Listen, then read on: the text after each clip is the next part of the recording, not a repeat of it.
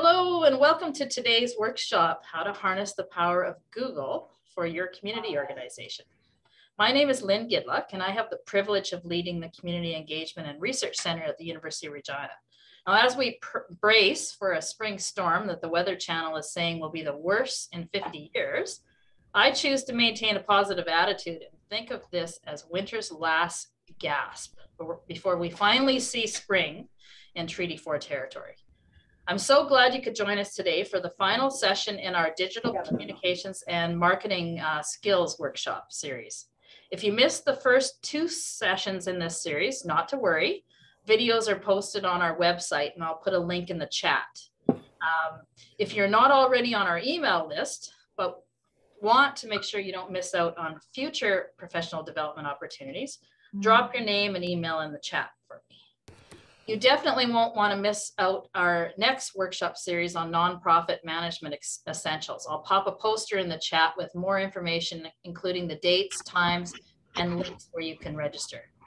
Community Engagement and Research Center is pleased to offer these workshops in partnership with the uh, South Saskatchewan Community Foundation. And uh, I'm happy that uh, Karen Henders from uh, the Community Foundation is here with us today. So thank you, Karen, for all the great work that uh, you guys do at the South Saskatchewan Community Foundation and for sponsoring this series.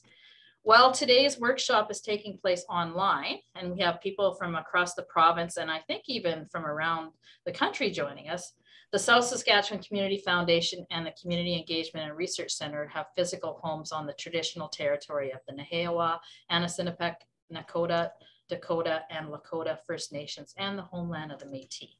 With no further ado, I am now pleased to turn the floor over to the Google, Google girl, Barb McGrath, who is the founder of uh, Get Found Digital Marketing Program and Saskatchewan's first approved Google agency, Above the Fold Digital Marketing.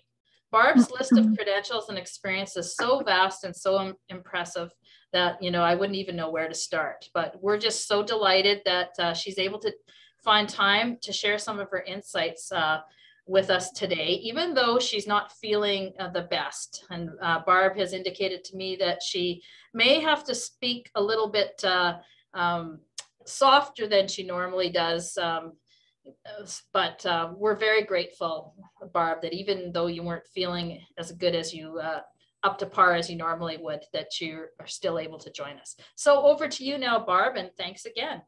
Awesome. Thank you, Lynn. Yeah. So I woke up with this funny scratch in my throat. And of course, I did the, the test, and so far it's negative, and we'll see what happens in the next couple days. But the good news is, even if it's positive, and I'm with all of you this morning, uh, it doesn't matter because you can't catch it through my computer monitor. So we're all safe. That's the important thing. Um, I'm going to be sharing my presentation. And Lynn, I don't know how to tell people how to do this when I go full screen with the presentation, my bubble will change here, like my little box. How do they make that be full screen? I never even thought of this when we were talking in the few minutes before. Can I know in Google Meet, I can be pinned so that I become full screen. Vic, do you know? Yeah, I was about to just step in and help. So all people have to do is click on your on yours when they hover over it. There'll be three like a blue square in the top right corner with 3 mm-hmm. dots. Hit that and then just press pin and then it should become the majority of the screen. Okay, perfect. So maybe I'll do that with my screen as well. Um, pin, there we go. Awesome. Okay, so I can't see everybody anymore, but now at least I'll know what you're seeing. Okay, perfect. And I was teasing Lynn before we got started this morning. Um, I have my chat over here and then my presentation so I can talk to you guys. So I have the chat open. As we go through the discussion this morning, you guys, if you have any questions, if something doesn't make sense, pop it into the chat and we're going to try and answer questions as we go. So with that, we are ready to rock and roll. Okay, I'm going to actually come back to the screen just to get us started. There we go. So it's working. Okay. So these days, it kind of seems like everyone is spending all of their time online and being able to support a community organization. It's like way down the priority list. I spent over a decade in the nonprofit and charity sector. And then I've spent another 20 years as a volunteer. And one thing really sticks for me. And that is that there is never enough time, people, or budget. And so when we, when Lynn invited me to speak with you today, I thought, you know what? Like I did a little bit of reminiscing and I thought, you know, for the Robbies of the world from Special O, when that's when that's where I used to be, um, those are the stories that really stuck with me. And so though my career has really changed, I want to take you down that path and talk about how the Robbies from Special O of the world can get more support from Google. Uh, oh, Lynn, you're just sharing me. I gotta, I have to, I'm terrible with the chat. If I see something, I'm like right away want to answer a question. Okay. Did you know that Google is the busiest street corner in town? 5 billion times every day. People go to Google to search for information and to solve a problem. So that's a ton of Google it, right? Hey, Google. In fact, I don't even have my phone in here right now because I'm going to use the word Google so many times in the next 90 minutes that my phone would be chirping the entire time. Google has become that household verb for us. It is the most well recognized brand on the planet. The funny thing about Google is you don't have to dance in front of a camera, wait for that good hair day, or start like pointing randomly around your screen to get in front of your audience. When they want to solve a problem, they're going to Google. And I always like to say that when they have that credit card in hand, they're ready to attend an event, uh, they want to make a donation, they've seen something that you are doing that they want to contribute to, they're doing it from Google. For those of you who are new to me, uh, Lynn did the introductions, but of course, um, I try and teach local organizations how to turn those social media fans and followers into actual volunteers, into those people that you need, attendees at your events, uh, donors, and board members. I can't even count the number of times that I've seen community organizations looking for board member volunteers, and people just aren't putting up their hand right now. A big part of that is getting in front of the right people. And, you know, again, Google's going to help you do all of that without you having to dance, unless that's your thing. But more importantly, I want you to think about how you can stop chasing that fractured social media audience and start building long term compound value in your organization. So, as we're getting started this morning, I just want to have a little bit of a chat, and maybe I'll make the chat just a little bit bigger so I can see. Um, because I'm going to ask you some questions and give you a couple little tidbits right away here as we're get, getting started. If you are a note taker, people always say to me, you know, Barb, help me know, you know, what I really want to write down. So this is your nudge if you are that note taker. Google is the only platform that exists today whose sole purpose is to help you get more done and accomplish more. If you were a for profit business, they would want you to sell more, get more bookings, that type of thing. As a community organization, they want you to be able to get the support that you need to sustain the organization for the long term. But why don't we talk about social media? And, you know, I kind of have a funny answer for that one because, as we said in the very first um, opening lines or whatever, it feels like everybody is on social media and they're doing dances all over the screen without even knowing you guys. And in fact, I can't see how many people are with us. Um, so there's lots, but without even knowing you, if as a community organization you are using social media to find your audience and get in front of your audience then chances are you're doing okay maybe you're even doing good or great but as we go through our conversation this morning i want to see if i can convince you that not everything happens on social media what no one is talking about is how to start to turn those fans and followers into your donors, your subscribers, your attendees. No one's talking about how do we attract more support for our community organization. And if you're a charity with us this morning, of course, Google has their $10,000 per month ad credit program. So, right off the hop, there's $10,000 that you don't have to spend from your budget. And in fact, most charities can't even spend all of it. So most wouldn't even spend $10,000. So that's why I want to focus on Google. That's where my interest in Google comes from because I see change. I see how we can start to change the paradigm. And hopefully, through our conversation today, um, you might start to see that as well. So now I do want you to hop into the chat because I'm going to ask you a couple of questions. And these aren't related to being a community organization. Get your fingers posed on the keyboard because here come my two questions. The last time you were looking for a service, maybe it was a naturopath, um, acupuncture, get your nails done, get your hair done, uh, trying to think of something, guys, maybe you're getting the beards trimmed. The last time you were looking for a service, did you go to Google when you were ready to actually do something about getting that service? Or did you go to social media and start hunting around? Tell me in the chat if you went to Google or social media. While you're responding, I'm going to ask the same question with a little bit different spin. The last time you had an emergency, you needed a plumber, you needed a dentist, we almost had to call one last night. Okay. Did you use Google or social media? Okay. So, social media, local business groups. Yep. Vic, that's an answer that I see at least once every time I ask that question. Carrie, Lifelong Learning Center. Carrie, is that at the university? Neither. Donna says neither. So, Donna, when you needed to solve that problem, where did you go? Well, for that particular problem, I'm involved in a, a networking referral group called BNI, and I went to my BNI members. Excellent. yes, that close network. Yes. Got it. That's a very good one.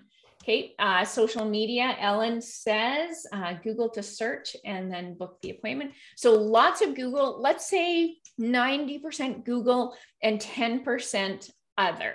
And you know what? That actually lines up pretty closely with what we see in terms of Google search results because the majority of customers are not scouring through social media trying to find a plumber when it's an emergency and your toilet's backing up at two o'clock on a Saturday night or something like that, right? Um, Facebook groups, absolutely. I do the same thing. I belong to a couple of groups. Uh, they're local business groups. I'll hop in there and I'll probably get three, four, or five responses in terms of the problem I'm trying to solve. And then I'll go Google them to learn more, look at their websites, uh, read their reviews. So then I look for a little bit more information before I actually make contact. If we start to think about social media as an awareness tool, so asking in the group made me aware, seeing a post made me aware. Seeing a reel made me aware. So social media has kind of become the TV of the 80s and 90s, or excuse me, the radio of the 2000s. Social media helps us share, connect, and make people aware. But it was never intended to actually help businesses, organizations sell stuff, collect donations. That was never its primary purpose. And Kim, uh, Google, yes, CCE, Carrie, we met many, many moons ago. I don't know if you even remember. I recognize the name right away. Okay, so Google. How many people here think they know how they rank on Google? How many people think they know how they rank on Google? And let me answer that question too. Oh, Carrie, I just realized that was a direct message. See, I can't can't compute all of that that quickly. Okay, uh, tell me in the chat. Do you think you know how you rank on Google? And if you don't, uh, let me know because we can help you figure out how you rank on Google. It's actually fairly simple. Okay, so Donna says no, don't know, some no's. So hopefully by the time we're done today, that's kind of the one question that I'd like you guys to be asking yourself. How do I rank on Google and what do I do about it? Okay. So getting lots of no's and don't knows depends on what you're looking for. Yeah, absolutely, Carrie, it does. Does it sound familiar to anybody? Uh, I didn't know your organization did that. Or what? That was your guys' event? Really? You have that group service? as a community organization, we tend to think that our audience knows what we do. Well, this person's on our email list, so they must know what we do. They follow us on social, so they must know what we do, right? We make that presumption.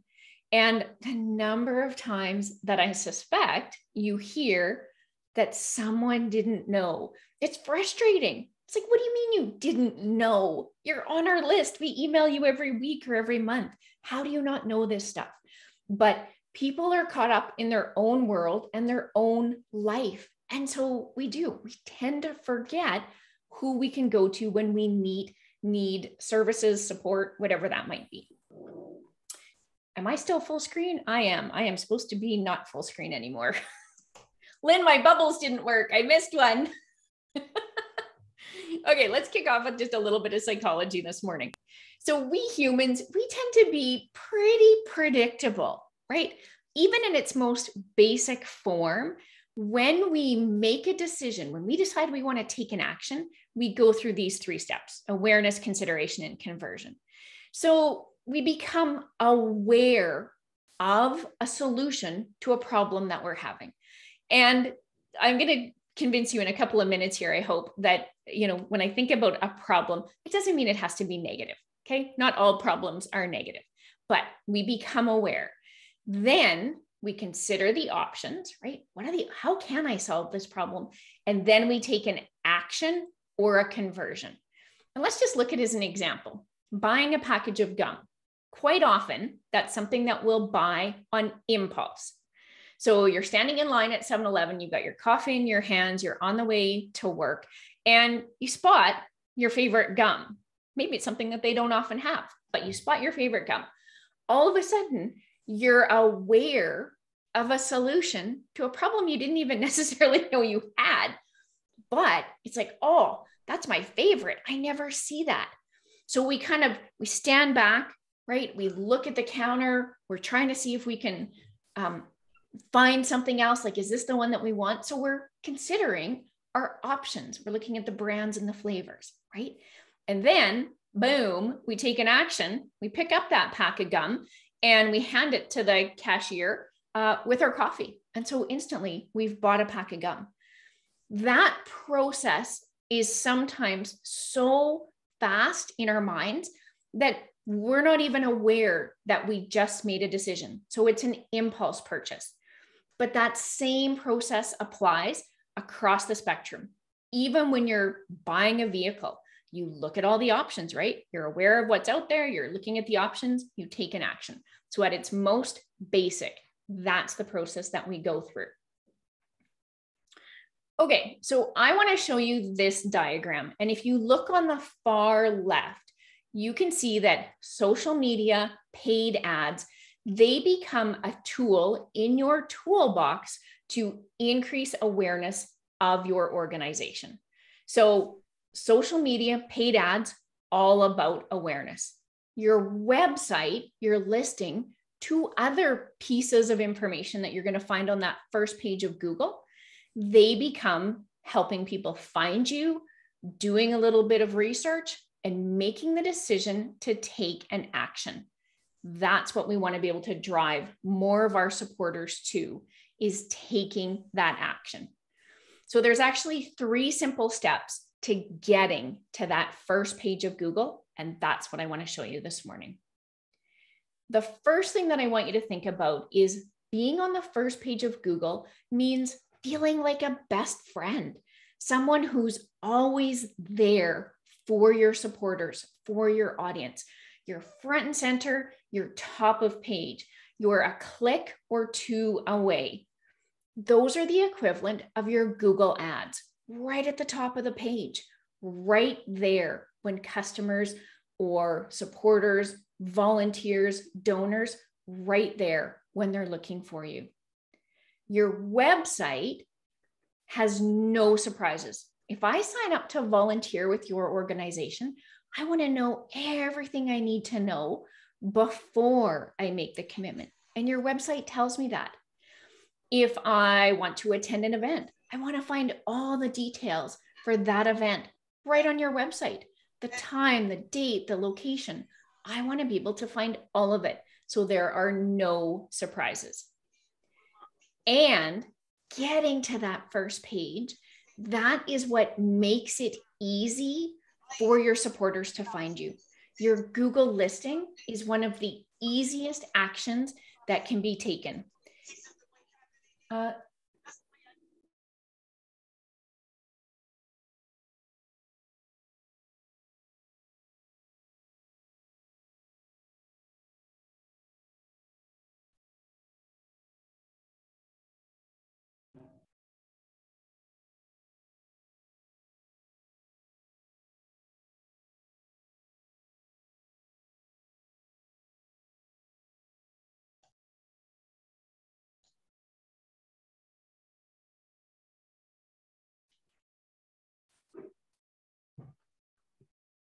How did I get muted? And how long have I been muted? Since the slide before. Oh, that's bizarre. I don't know Okay. what happened there, Barb. Yeah, I don't either. Okay. Um, so I'm going to assume that everyone can hear me again. Joanne, thank you for posting that. I have no idea. I didn't touch anything. My hands are talking, but anyway. All right, uh, back to my question. Uh, has anyone here ever been on a diet? Tell me in the chat, have you been on a diet, any sort of diet? And if I have the first audience in history to, okay, good. okay, there we go. Lots of folks are willing to be vulnerable this morning. Brene would be happy. so, for those of you who have been on a diet, I, you know, you pr- probably learned fairly quickly that you can't eat more potato chips and expect to lose weight, right? Potato chips was not the solution to your woes. And you probably even learned that less potato chips really wasn't going to get you there either. To be successful on a diet, you had to change something, move more, eat better, be healthier. Whatever that holy grail was for you, you had to change something. And attracting more supporters is exactly the same as successfully dieting. You have to do something different. More social media? Nope. Social media is like potato chips. We don't want more of it. A little less social media might move the needle, but to really start to shake things up around here, thank you, Meatloaf, you need to be where your supporters are when they're solving the problem. And that's that first page of Google.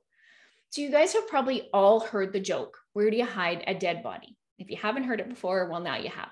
And you hide it on the second page of Google.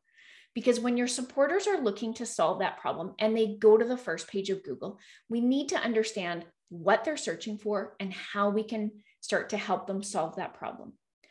Because I've talked problems a few times throughout the presentation here already this morning, I want to start to define what that looks like. If we can agree that our supporters typically have something they want to solve, then we need to think about how we can be the solution. Okay, so every one of your supporters had some type of problem they were looking to solve. If, for example, you're a dog rescue, well, then your supporters are looking to add a furry person, animal. They're not people, are they? Animal to their home, right? If you are a nonprofit counseling service, then people are looking for support. But whatever it is, they were looking to solve a problem. And I just want to say here that um, there's very little that we do as humans that doesn't solve a problem. Even something like going for a relaxing massage solves a problem for me because I'm craving relaxation. Yes, it feels good. Yes, it's a reward, but it solves a problem. And so when I'm looking at that community organization, when I look at that sector, there are tens of thousands of people who are driven to be involved in the community. They need to give back, they have an inherent need. So, their problem is during COVID or any type of insul- insulation, isolation, they need to be able to be involved. I'm guessing that many of you found a way through COVID for your volunteers to continue to stay active because people needed to give back. The other thing that we see, the second thing that all of your supporters have in common is 90% of them. Remember, I said that's about average 10% went to social to Google a problem. 90% of people will Google a problem before they try and solve it. They're either looking for a business that can solve it, they're looking for a community organization that can solve it, they're looking to be philanthropic, right? And so 90% are Googling that problem. I want to differentiate because one of the things that folks often hear when I make that statement is, oh, people are doing everything online. No, that's not what I'm saying. 90% of people made the decision. Uh, whoops, and that one still says buy. 90% of people made the decision to take an action based on the information that they found online. So when you step back and you look at your website, maybe you're running some Google ads, you look at your Google listing, is the information that you're providing to that 90% of your audience, is that the information that you want to be providing? We talk lots on social media, so I'm not going to spend any time here, but I do want to talk about chasing that fractured audience. When Lynn asked me to do the presentation today, I kind of thought, yeah, here's some things I want to share with them there's also some things I want you to start to think about. How do we unlearn these habits? Right? Again, think back to dieting. In order to be successful, I also had to stop doing some things. I may have started, but I needed to stop. And so, what if we posted to social, me- social media just a little bit less, and instead we paid that attention to Google? What if we stopped chasing our audience from channel to channel and trend to trend. And instead, we looked at, hmm, how can I be in front of them when they actually go to solve the problem? The difference between those two things is push and pull. Social media pushes information at whoever is at the end of the device. When your supporters want information, they're pulling it. They're pulling it from your website, they're pulling it from your listing, they're pulling it if you have a Google ad. So they're pulling that information. And when we pull information, the likelihood of taking an action is that much higher. Okay. So if we start to think about how do we put these two things together, Google and social media, it's like social media is just plain fries Google adds the ketchup. The movie, you gotta have popcorn, right? A campfire, you gotta have marshmallows. I know I haven't had breakfast yet today, so I don't know where those came from, but the two go hand in hand, right? And so Google on its own, it can be with your supporter throughout their entire journey. If you decided as an organization to do no social media at all, you could move the customer from awareness, consideration, and action. You could move uh, your supporters through that whole thing. And that's because when we think about Google, they're a matchmaking service.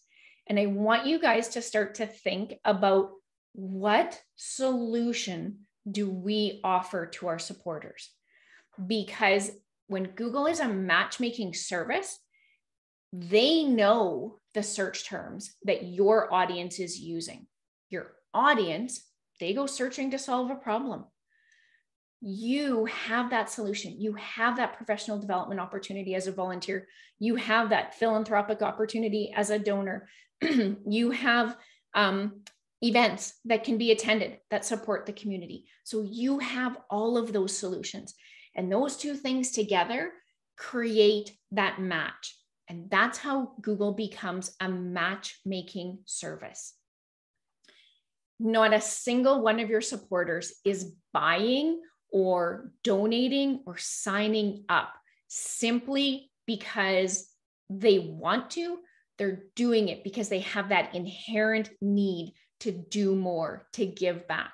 And, and that's the problem that they're trying to solve. Can anyone tell me in the chat? I know that this is maybe changing the paradigm a little bit, but what problem do you solve? And if it if it's still easier to think of it in sort of um, in terms of the reward that you provide, then tell me that. But what do you solve for your audience? right now i'm i'm not really focused on clients because i know many of you have a client arm as well but if it's easier to think that way then definitely give me that example. Can you reframe what you do in your organization as a solution? Okay. Child poverty. Yep. Building our next generation of leaders today. Absolutely donna. Mm-hmm. city kids if i remember correctly. Yeah Anybody else? Okay, alleviate poverty again. Mm-hmm. Okay, conservation and nature preservation. Yeah, Ellen, that's a that's a really good one. Absolutely. You know, and it's it's funny. Uh, I just had a lengthy conversation about um, being environmentally friendly on the weekend with my social circle, uh, and you know, at the end of it, I said, oh, being environmentally friendly is a lot of work, but it's just what I need to do. It's it's how I am inherently wired. So, yep, welfare advocacy, um, build a community for newcomers. absolutely, Victoria. Well trained dog. Okay, awesome, Joanne.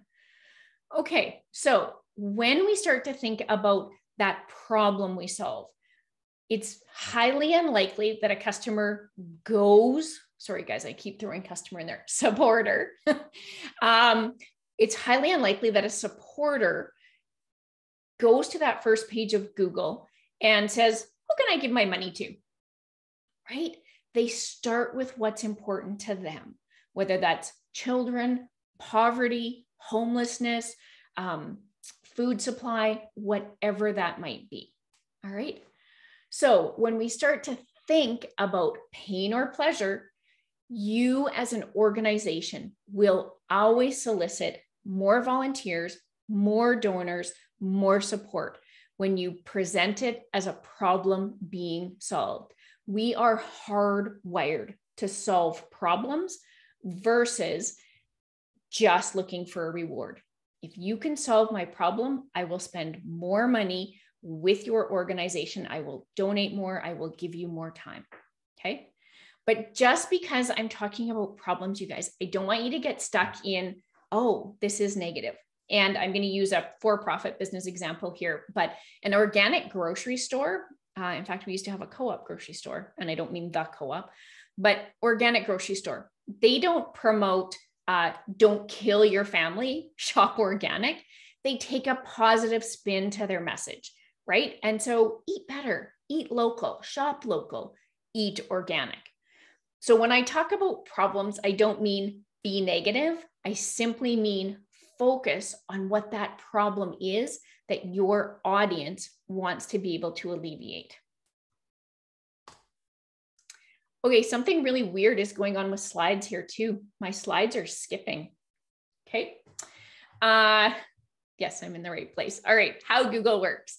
So to understand how, how to get to that first page of Google, we need to understand just a couple of things about how it actually works. And Google is just a big old calculator.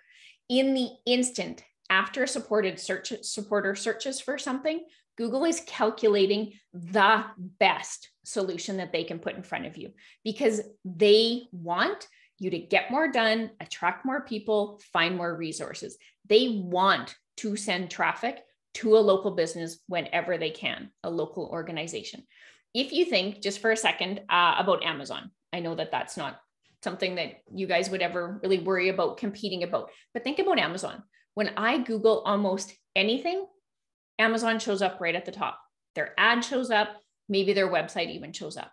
And it's because they're tending to what they need to do on that first page of Google.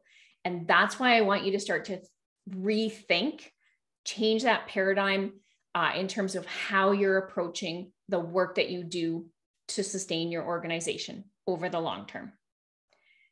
Okay, we already talked about the three ways. So let's let's start to dig in. So if you are a note taker, these next uh, number of slides are going to be really important because we're going to start to dig into each of the three ways and the how tos. So we have Google Ads. We've talked about that already. Google Ads is absolutely uh, the first and the fastest. Okay, your website That's also on the first page of Google. 10 websites will make it to the first page of Google. If you have competitors in the private sector, uh, then they will also be looking for one of those first 10 spots. Google reports on the first 10 spots on 10 pages. So they report on 100 placements in terms of where your community organization might fit. The last one, and um, some of you might know this as Google My Business, but it's now called Google Business Profile. And it tends to be the most forgotten business tool that's out there. It's free, it's 100% free. And so many organizations are forgetting about it. All of these, your website, your ad, these are all strategic business tools. And so when we think about here's what we do on social to help people remain aware, here's what we do to get our supporters to take an action. And this listing is one of the most forgotten tools that are out there. Okay. What I often see happen is you, you get busy. Social is an sometimes an all day, everyday thing where Google is a few hours a month. Google doesn't take the time and effort at all that social media does. So we tend to forget about it. So your website, it starts to go static after a while. Maybe even it's a, a little bit out of date. Your listing, well, you might not even be sure if you can find the password for that one because we've helped many a person uh, recover that password. And if resources are already tight, if budget's tight, well, chances are you're not running a Google ad. But what we do do is we say, oh, but that post on on Facebook yesterday, we got like 800 views on on that video. Like it was awesome. And we got 27 likes. But where do those 827 people go when they're taking the action? That's why it's so important to think about each of these pieces. So when we look at google ads um, whether it's a social media ad a google ad traditional radio whatever it might be they are all pay to play. You pay the money and whomever you are paying will give you the benefit in the in the near term in the short term right? If you decided after you're done today that you wanted to create a google ad you could do it in 15 minutes okay? So it doesn't have to be an exhaustive process. Um when we look at ads they are absolutely everywhere. They are on the first page of google. They are on the 10th page of google. They're all over our social media feed. Um, google follows you around if you've got display ads and you've been looking at something uh, I found out a Christmas present one year because the um, uh, Hillberg and Berk spark- sparkle ball started following me all over the internet, right? Which was good because I was like, hey, happy dear, uh, not looking for this for Christmas, just in case you're thinking about it.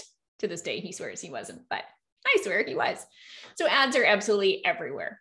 Uh, tell me in the chat. I'm going to start to talk about what you want to put into an ad if you are thinking about Google Ads, but I'd love to have a sense of how many people are either using one or have used one. So tell me in the chat there. Okay, so I'm going to give you four times when I would like you to think about a Google ad. Now, if resources are still tight, then there's only a couple of these that will apply. But when you're trying to reach a whole new audience, right? You want to get in front of a completely new audience. And if we use the example of masks, up until two years ago, none of us would have considered going out buying masks and or buying medical masks, right? Doctors and dentists, that was it. All of a sudden, every manufacturer of masks were running ads everywhere because the competition for ads was huge and supply was ridiculously low because of how quickly we needed them. So manufacturers were trying to get in front of an entirely new audience. For you, it might look like something where you want new attendees in a, pay, a paid group or support program. Maybe you've got a funded program through the organization and you're providing support. So you want to get bums in those seats. Okay. Uh, or attendees at an event you're hosting a community event, you're hosting a fundraiser. Google Ads can be a fantastic way to be right there, front and center. Okay. You're probably doing the work on social as well. I am not suggesting at all that you want to do one and not the other. Okay. Any questions on that one before I move on? I noticed somebody's mic just popped open. No? Okay. So the second time that I would like you to think about a Google ad is when something is really competitive. And as a community organization, lots of you are probably thinking, well, that doesn't apply to us. Well, it does because we have a number of nonprofit medical services, counseling services, mental health services, and fitness services. And each of those are highly competitive. Trying to access counseling services, mental health services can be really, really difficult. We had one participant uh, in our Get Found program who uh, they were in the mental health space and they are a charity. So they got funding from Google uh, to start to do some ads and they filled their programs. Their group programs were filled, uh, their horse programs were full, they filled up. And so getting the message in front of people when they're actually looking to pull the information can make a huge difference. So I'm seeing a couple people. Uh, Kelly says how to donate. Kate, uh, Ellen hasn't. Uh, Donna has not, and Danielle has not. Kate, but Kelly has. Awesome, you guys. Okay. Uh, low loyalty and high entry. You know, I could dig around to find a community example here, but you guys, here's my best example when we go on our winter vacations, which we as Canadians so desperately want and likely missed for the last two years, we have very low loyalty to the country or resort that we go to, maybe even the uh, carrier that we fly with, but it's a very high cost entry. So when something has low loyalty, when we as customers are lo- are not very loyal to something, but it's an expensive thing, that's where you will see many Google ads. And if we look to the for profit sector, all you have to do is look at vehicle sales when there is actually vehicles on the lot. And because of the competition, there are constantly ads at the top. Right now, there's no supplies. Well, there's very few. The fourth time that I would like you to think about it, and uh, I'm going to give you a caveat for this one. I want you to have a for profit or revenue generating arm before you just jump into a Google ad simply for the sake of being on the first page. When we think about the cost behind a Google ad, it can be as little as a few cents. I have a Google ad running right now, and my cost per impression is six cents. So it seems really inexpensive. But then there's a cost to actually get somebody to the website that we're advertising and get them to take an action.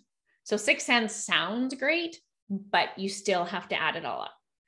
So if you're not on that first page of Google and you either A, have that charity credit from Google, B, have a revenue generated revenue generating arm or a funded program that you can fill, then the Google ad would be something that I would suggest that you want to look at.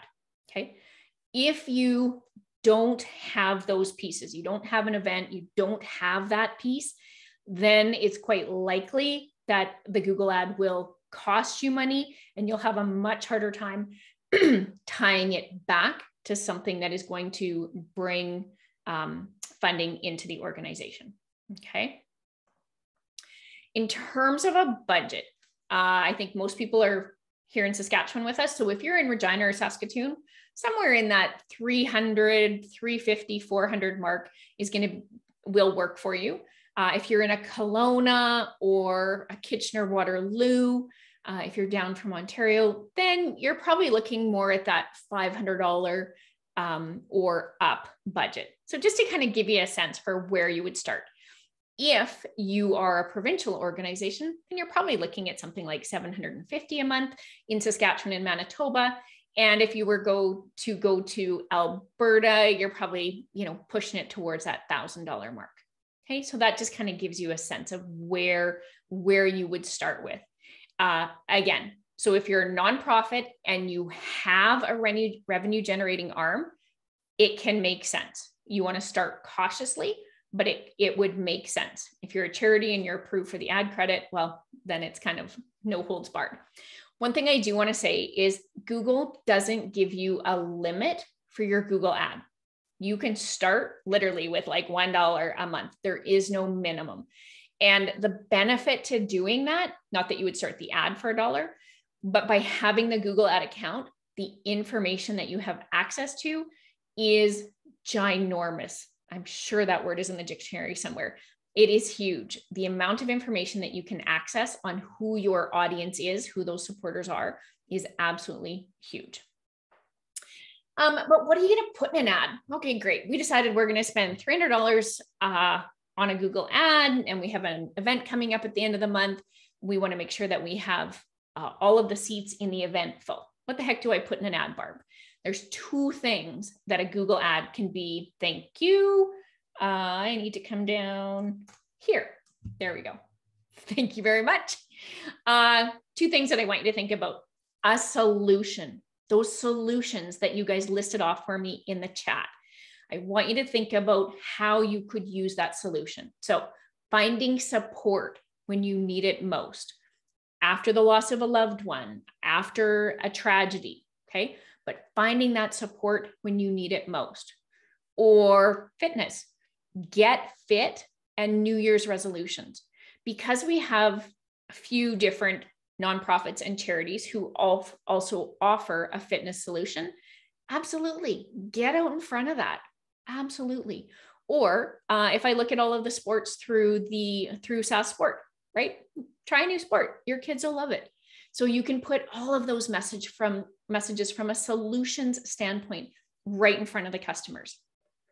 The other option, the other option, and this is just slightly uh, different for a community organization. But if I think about stage of life, when when we get a little bit older, we start to think about our will and philanthropy and planning. So, you know, there's some really strong messages to start to think about, hmm, are you planning uh, you know, to leave funds for an organization, a cause, right? That's where Karen and Victor's organization really comes into play. And so those would be some of the messages that they would focus on. Google Ads do particularly well when the supporter, when they're ready to take an action, when they're actually ready to do something.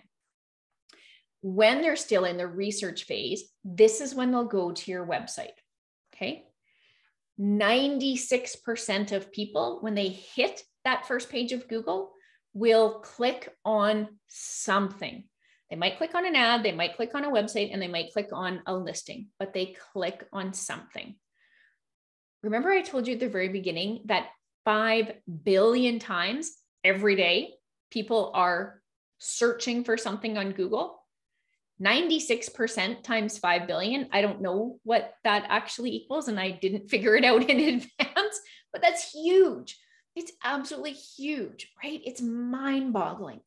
So, your website position, what page you're on, and the position on that page are all earned simply by following Google's rules and using something called search engine optimization. That's what we're going to talk about in these next few slides is what is SEO or search engine optimization, okay? Remember from the very beginning I told you the website is about no surprises more supporters will support you more when there's no surprises. See, my slide just skipped again. What the heck here? Okay, uh, what I do want you to think about is how do your supporters actually search for you? Because we tend to think that they go, hmm, I need to get counseling, but they don't. They search for things like, why am I worrying so much? Why am I having problems sleeping? Can I find a counselor near me? Do I need counseling? Oh, I'm going to have to find a cheap counselor because counseling is really expensive, right? These are the things that people look for. And it's across the board. Pick an industry, your supporters, your customers, everything. We are Googling cheap, which is really worrisome because like things like cheap dentist and cheap car. Yeah, I don't know. There's some things, some things are worth, worth the money. We also don't just search for get in shape or how do I get in shape? We'll search for a gym near me, the best gym in Saskatoon, right? Or gym open late if you're maybe a nurse, right? And you need that flexibility. So as we get into tools, I think I may have just segued this slide. I'm going to go back here in a second. There's four tools that are listed on this slide. Again, if you're taking notes, write these four things down because in each of these tools, they're all free. They're all Google tools. And if you can get into your Google listing, you can get in here. Okay. Uh, these four tools will give you, you have access to the exact keywords that your supporters are looking for. I need to do a better job on my business profile. I need to figure out my website. You go in here and you can find all of those keywords. But to go back now to ranking your website, uh, one of the first things that we almost always see 80% of the time, you guys, I tell people name, address, phone number, hours, they need to be consistent across the web. Um, Vic probably still has nightmares about me saying that so many times when he was in our program. And it is so important. But 80% of the time, it's not accurate. When you actually start to look, it is not accurate. So, what's the impact? Let's just say that there's a discrepancy, and let's just assume it's a little discrepancy. The way Google works as that calculator, Google is constantly scanning the information about your organization that's out there. And when they find a discrepancy, it's kind of like they put a question mark in a box because they're not going to not send traffic to you. But when they notice an inaccuracy, they kind of go, oh, well, wait a second. We want our traffic going to places where there's accurate information. So they just put a question mark. And if those question marks start to pile up, then it absolutely will start to, to impact your rank. Okay. So name, address, phone number, hours. I know it sounds super simple. Uh, if you do if if you do send me an email and you'd like to know how you rank you'll see in what i send you back that you can find all of these discrepancies. There's i think there's 14 different places that we scan. So it's just kind of cool. Uh, and even my own. I'm like how did that change? I did not change it. But but these these um, listing places they go and they find information to keep your information up to date. And sometimes they change it and it's wrong and it's a pain in the arse, folks, but it's the reality of our online world. So there you go. There's my spoiler alert. Okay, we talked about this one. So using those four tools. Um, and then being search engine friendly, right? Finding those keywords in the tools and using those keywords on your website. So I'm going to show you kind of what that looks like in reality. So if I was to Google my own business, get found digital marketing, blah, blah, blah, uh, and this isn't current. If you look today, it's not quite this text, but doesn't matter. Okay, so this is what it looks like when it pulls up on a web page.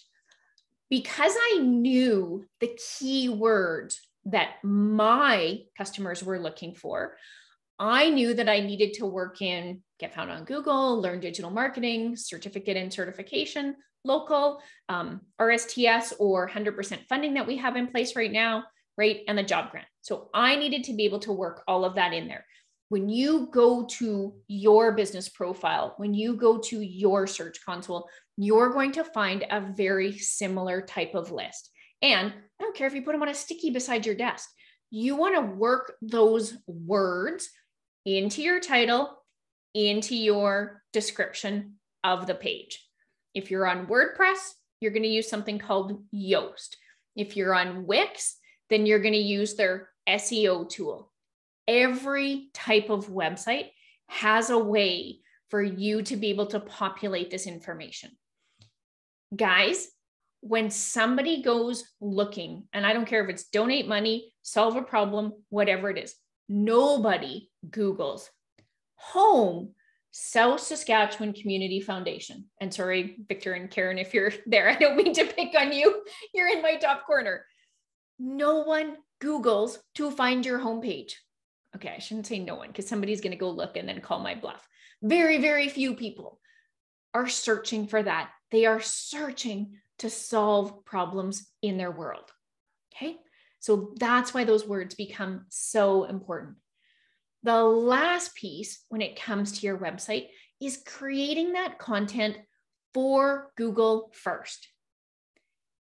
Couple of minutes ago, I talked about, you know, eh, people are posting to social and they've got one or two posts going out a day and all their new staff are introduced on their social media channels and they look so nice. It's wonderful.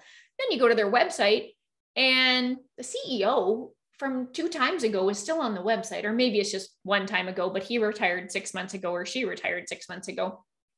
Well, and their marketing manager, when I emailed, uh, it just bounced back. And I'm actually using an example. I will not name the organization, but I have a uh, local organization that I work with every year, do a little bit of work with. So I emailed them my annual email to say, hey, are we ready? Not a word back, you guys. Not a word. And it's because I believe staff have changed. And so my email is going into the abyss. And not that I don't want to continue to support them, but every year it's the exact same thing. Right. And so your supporters will be feeling the exact same way. Could I go look on their social channel and find more up to date information? I might be able to, but I just haven't taken the time because I'm looking to make it as easy for myself as possible because this is my giving back, right? So when I start to think about Google first content, what if you introduce new team members on your website first and then shared it to social media later? What if you posted all of the information for an event on your website first and then shared it to social media? so if we start to think about social media, it's kind of like that sugar high, right? You've just had something really sweet. Ah, it feels good, but it's instant and it's fleeting and it's gone again, right? Where that Google algorithm, it's like your grandma's oatmeal it sticks to you. It stays with your supporter throughout their entire journey, right? And so social media platforms, they already forgot whatever you posted when you were getting ready for the presentation this morning, where Google continues to keep that content at the top. You are absolutely competing against every other community organization and business that also wants that spot. But when you know when you know the keywords that your customers are using, that's when you will really start to see a difference. Okay, I'm going to switch up to a little bit hotter water again here so we can extend the voice. Okay. okay, so let's look at that example. If our Facebook page had a thousand followers and we had a thousand visitors uh, in a month to our website, the current average for a Facebook page is 3% of your people will see a post. Okay. On your website, if you're posting something, let's just assume front and center homepage, all 1,000 people will see that the first time. They might not consume it, they might not absorb it, but they will see it. On your Facebook page, you have to post 34 times to get those same thousand people to see a single piece of content, to even see you once. Because there's always the follower who isn't there very often. And if you haven't posted when they're there, your content sank down below. I'm just going to put a cough candy in you guys. If by chance uh, it's causing too much noise on the mic, just let me know. Okay. 34 times. That's a lot of posting. That's posting every single day in a month, plus a couple of extras just for good measure. And that's what I say when I mean Google doesn't want you posting every day, um, doing dancing videos. Google's not looking for that. That's not going to help you when your supporter wants to take an action one of the final steps before somebody picks up the phone, goes to a website, goes to a location is your Google listing. So whether you call it Google My Business, whether you call it Google Business Profile, it's one of the last places that people actually go. and the top three searches are best, near me, and in city. So for you, it might look something like best counselor, best clothing recycle program, um, best pickup program for recycling. It might also be near me, fitness center near me, group support near me. If somebody is Googling near me, 90% of the time, they take an action within 24 hours. So if I want to drop off clothes for donating, within 24 hours, it typically happens. If anyone who is with us today is in an organization that accepts clothing donations, and it's possible that we just don't really have that service anymore, that is one of the hardest services to source out. When you want to drop off clothes for donation, um, there's I've yet to find a good listing in the city of where all those bins are. So I have no idea how to do that. The third one is in my city. And so again, counselor, Moose Jaw, immigrant services, Saskatoon, immigrant services, women, Regina, museums, Ottawa, right? And so when we start to think about in my city, people want to find the local stuff. And that's what I mean, you guys, when I say Google wants you to find local businesses. That's where your listing comes in because that is what is front and center. I talked earlier about um, lots of organizations are using the ads. Of course, lots of charities are with Google's ad grant. Um, many businesses, many organizations have a website. The number of folks who are actively managing their Google listing is very, very limited. If you take nothing away from today, except she said we should log into our listing and do more stuff, take that away. It will help. This is the listing that I'm referring to. So if you're wondering, what is she actually talking about? It's that snack pack or those three organizations that would be listed. Okay, so that is a Google listing. I already told you that it is 100% free. And so even in a community organization where uh, financial resources are tight, you can do your Google listing. Time, I appreciate. I can't, I can't make more time, but if you spend less time on social media and a little bit more time on Google, then you can make time, right? Inside your Google listing, there are 50 or more data points. It's like having a one on one conversation with Google where you get to say, Hey, Google, here's what our organization does here's our mission, here's the people that we help, here's how people can get a hold of us. And then on a weekly basis, you can start to tell them more about what you do. So Google has this thing called posting. It's just like you would post to social media, except Google wants you to post so that more supporters take an action. That is the whole purpose of having posts inside your Google listing. Reviews are also housed inside your Google listing. So if you have Google reviews, they're also housed in here. When we think about reviews, they are one of the fastest ways that you can move your organization up in those search results. So it will help move your website up. It will also help move your listing up. It is one of the um, fastest.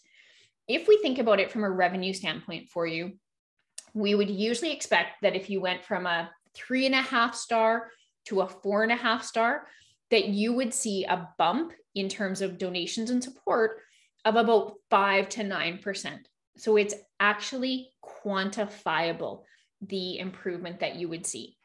So again, when you think about any activities that you have that bring in revenue to the organization, your Google listing can be a fantastic place to talk about it. Okay when a customer leaves a review, people trust that review more than what you say about your organization. And it's because we trust user generated content, it's called UGC. We trust it more than we trust the organization when it's talking about itself. That really applies in a for profit environment, but it applies equally to you if you want me to volunteer support your organization, I need to know that the information I'm finding out there is accurate and others who have also supported you say that it is a good organization to support. Because of the number of scams that are out there online right now, especially you think these last two years through COVID, people being able to find good information about your organization is huge.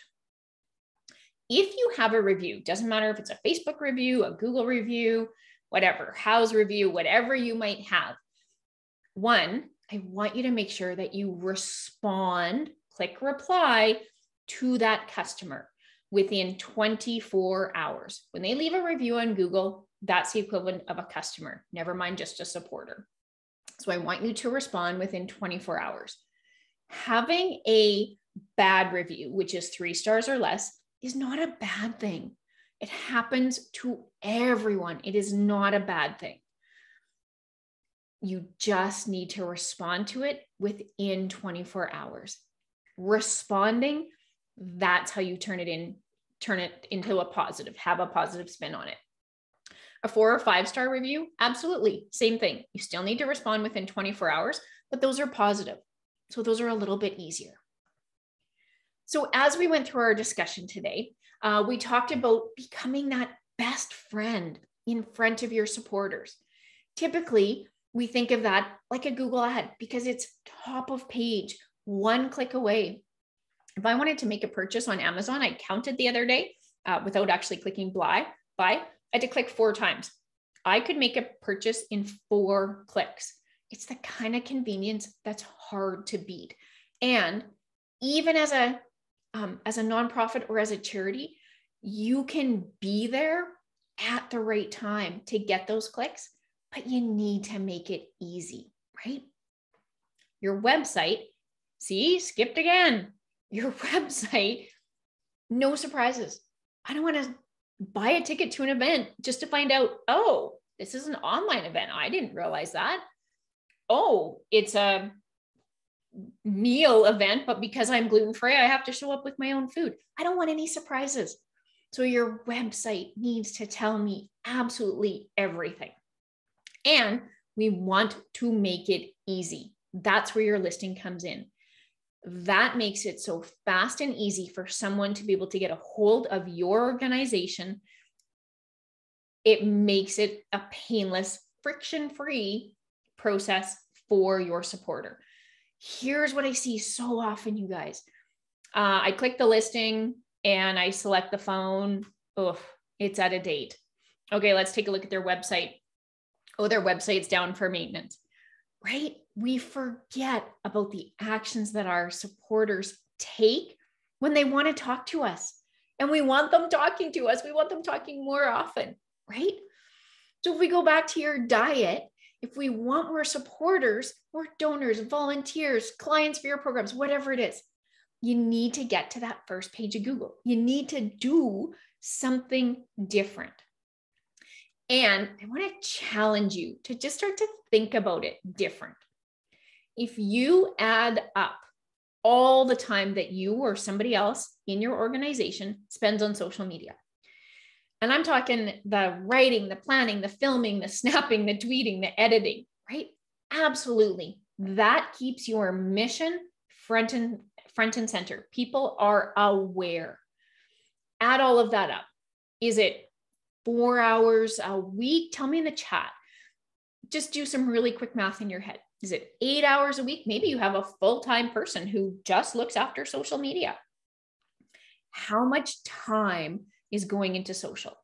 Because I'm going to be totally honest with you guys. I spend four hours a month to look after my Google. That's it. And the reason I can do that is because I do a little bit of social and then I do my Google and I keep it up. So if you're thinking or feeling like, gee, I don't have time, you know, am I going to benefit or I'm not sure? I just want you to think about doing something different. And the things you're going to do different, if my slides would keep up, are your listing. You're going to have that one on one with Google, all those 50 data points. I want you to start to think about how you can ask supporters for reviews. Lynn, now I don't feel good. No, now I feel good myself that I don't spend so much time on social media. exactly. Exactly, Lynn. Okay. Getting more reviews from your supporters. People show up at an event. Awesome. Ask them to leave their feedback on your Google listing, right? Your website, that matchmaking service, so that when your supporters are looking, they find your website. Try Googling yourself, not in your office, not from your work computer. Try Googling yourself. Do you see yourself like you think you're going to? Your name, address, and phone number and hours. Please, please bring that information up to date. There is nothing worse from a customer, supporter, volunteer, donor. There's nothing worse than you're trying to get a hold of the organization and you can't. Okay. And if you're going to look at Google Ads, just remember that they are pay to play. So when you're running the ad, if the ticket you're selling is a $25 ticket, but it's costing you $20 to get that 25, then maybe that's not the best fit for your budget. So there's three numbers that I want you to take away from today. And the first is there's only three ways to be on the first page of Google.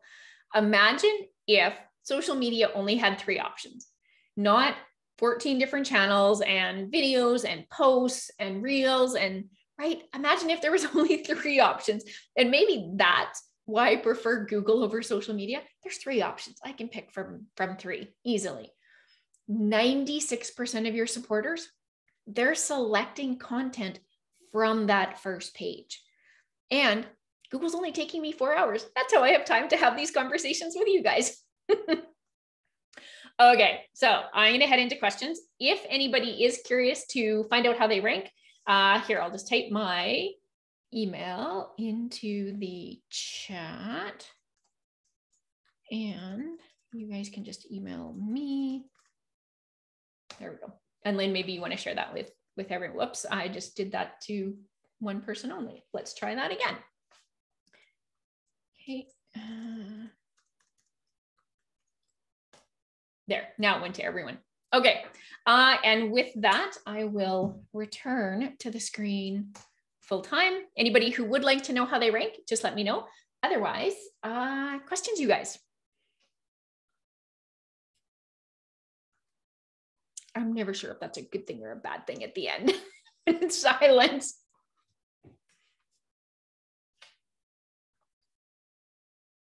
You're welcome, Ellen. Thank you for coming.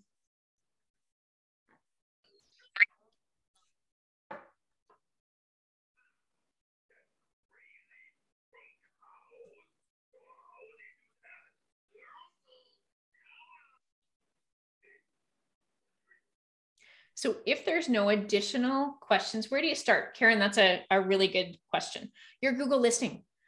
Go to your listing, get logged in, bring it back up to date, and use that same login information to access your Google Analytics, your Google Search Console, um, all of the pieces. So start with your Google listing. Julie, did you have a question?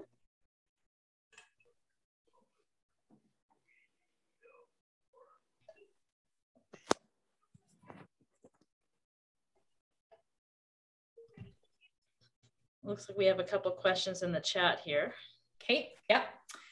Uh, would you use Facebook or website for group like seniors at the university? Um, so they would do two really different things. The website could help you build out the information about the group where you may end up using Facebook to engage with people on a, a day-to-day basis um, I would absolutely post about the fact that the group exists to social, but I would have your core foundational information on your website first and then share it into social media, any of the different channels that you're using, Carrie. Okay, and Jane, uh, how do you find your Google listing? Go to business.google.com. That's the login for Google, and I'll type that in here. Okay. The other way to find your business is um, just Google yourself and you will likely show up on the right hand panel of the screen.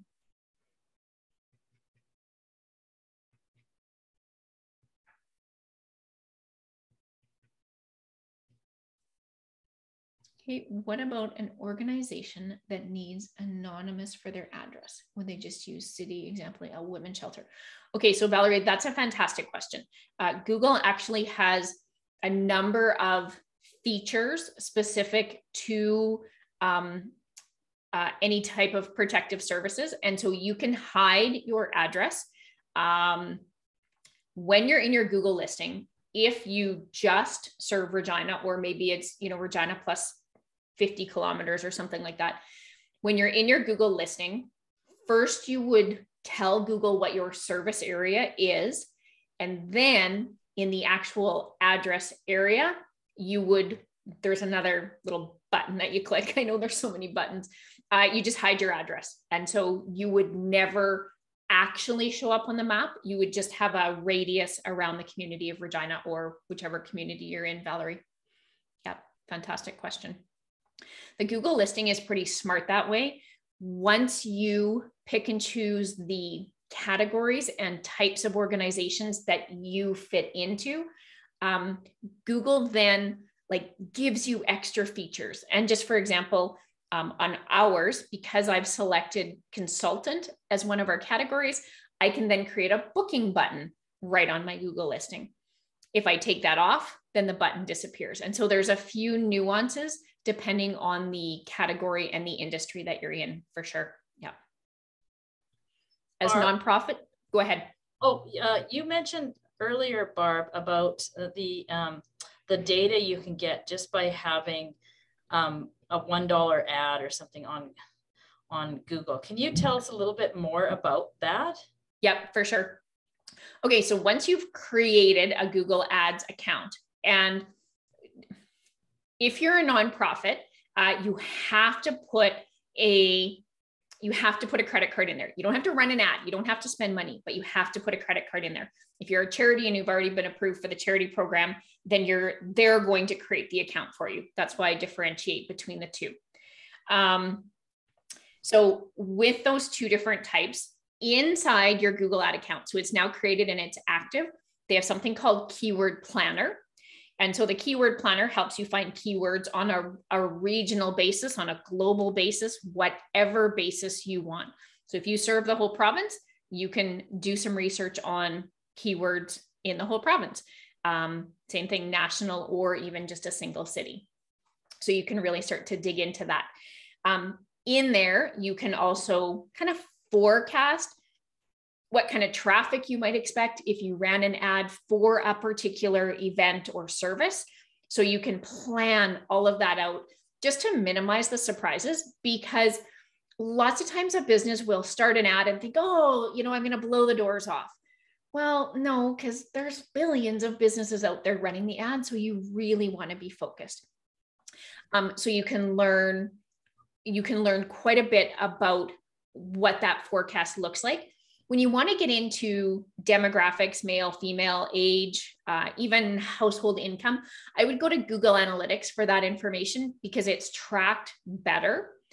It is for now. Google is um, Google has a new pixel that they want us to move towards using, or a new tag, it's called, and the old tag is going to be retired. But for right now, you can get into your Google Analytics account, assuming it's been set up on your website, find age, gender, household income, and interests. Interests can be really, really big. And just for example, even though we're a marketing company uh, and a teaching company, our primary interest continues to be employment because people are constantly looking uh, to change jobs. And so even as a small business, people are, are often asking, you know, those questions.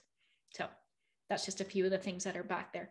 Um, I was going to say one other thing on the listing. Okay, it's gone. If it comes back, I will share it.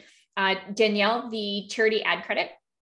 So if you Google, um, well, first of all, you can Google our website and be in our program, but uh, if you look for uh, Google ad credit, Google for charities, if you Google that, you literally just follow the process through and and there's there's a few hoops. Um, there's definitely a few hoops along the way.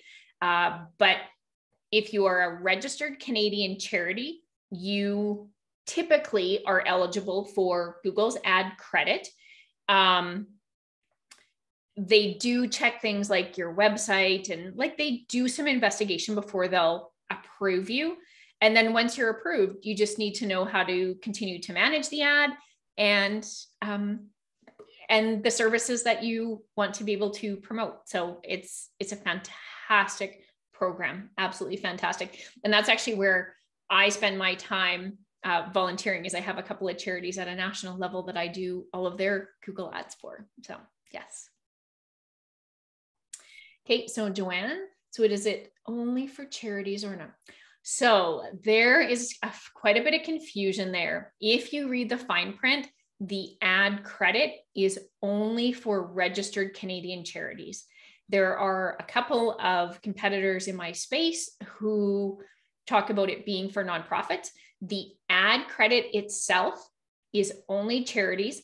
The rest of the Google, sorry, it's called Google for Nonprofits, not Google for Charity. Uh, the rest of the Google for Nonprofits program is eligible for nonprofits. So, for example, there's enhanced maps, there's some training courses, um, uh, the Google Workspace, Google Email, all of those things. Yeah. Can you adopt my organization? uh, good one, Kelly. It's funny because the organization that I volunteer for is it's a dog adoption. oh, that's too funny. and it more ironic. So, like the dogs, so we have two dogs. They are always down here with me. Uh, and so I'm in the office locked in here today, and they're quite perturbed that they can't get to me because this is their routine. So I can hear them moving around out there, and they're quite perturbed that they can't get to mom. Uh,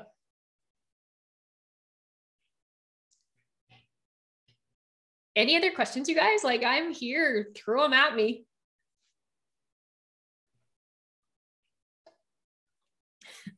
Darn, Kelly. okay, so now that Halls is like stuck to my cheek and I can't get it off. oh my goodness.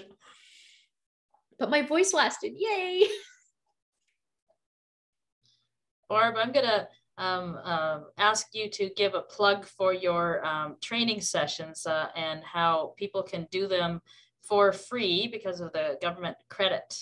Uh, so if people are uh, thinking, oh, this is, they're maybe a little overwhelmed, but would like to learn more, um, how they can go about doing that. Sure. Thank you, Lynn. Thank you. I really appreciate that. So yeah, um, we have Get Found for Charities, uh, which is for charities and nonprofits. And then we have Get Found for Local. The charities and nonprofit program, we do start you at applying for funding if you would be eligible. And we stay with you right from applying for funding uh, until you're approved. And we have that first ad up. If you are a nonprofit, we go through the same process, except that you don't apply for funding. And in our program, we walk you step by step by step through everything I just talked about today. Um, we do it two different ways. Uh, we're here with you live, so it's not all pre recorded. Uh, we're here with you live. We let you know what you need to do. Um, and then we take you through it step by step. And then we get back in with you live and we say, okay, what worked? What didn't work? Where did you get stuck? And then we help you move on to that very next piece. So, here in Saskatchewan, for those of you who are here, um, you have 100% funding right now, and our next course is in May. Uh, I know you guys are getting very close to um, annual general meeting season, and so we're trying to sneak it in uh, just before it gets too busy for you. So yeah, 100% funding. Again, send me an email or uh, ask Lynn for my email and we can get you that information. We help you through that funding application if you do want funding. Uh, and if you decide that you don't want funding, that's fine too. The rest of Canada, uh, you are typically eligible for up to 80% funding. And yeah, we would, we've had a number of folks from out of the province, interesting. Um, versus you know right here in the province. So it's neat to see the variety of um, national organizations that are out there. So everyone is welcome and it's all about getting your business to the first page of google. How can you tell that wasn't prepared at all?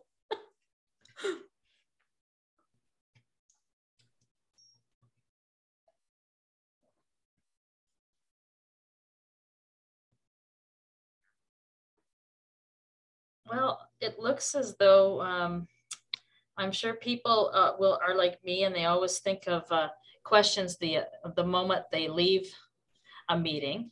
um, but uh, you've provided such rich information in such a short period of time, Barb, as I knew you would, and um, I'm so excited that you were able to share this with with everyone. Um, I know that people will be asking me. Uh, it's always people will get send emails immediately afterwards.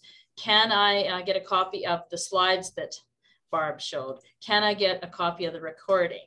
So um, Barb, if you uh, could kindly share your slides with me if you don't mind. Um, and uh, as soon as we're able to uh, get the recording up onto our YouTube channel, we will send out an email with that link for uh, I know a lot of people had seem to have problems today with uh, coming into the Zoom room. So I don't know what happened. Hmm. But, uh, a number of people said that they tried several times to get in. So uh, I know some people are going to want to watch that beginning part of the session. Okay. But anyways, um, it, are there any more kind of questions before we uh, uh, let Barb get on with the, the rest of the day? I did leave my email address uh, right in the chat there. So for anyone who is looking for it, it's there. And again, it's a standing offer. There's no carrot attached. If you would like to better understand your uh, Google rank, just shoot me a quick email and say, hey, I was there this morning and uh, we'd love to know. So absolutely, just let me know. Thanks, Joanne. Thanks, Carrie.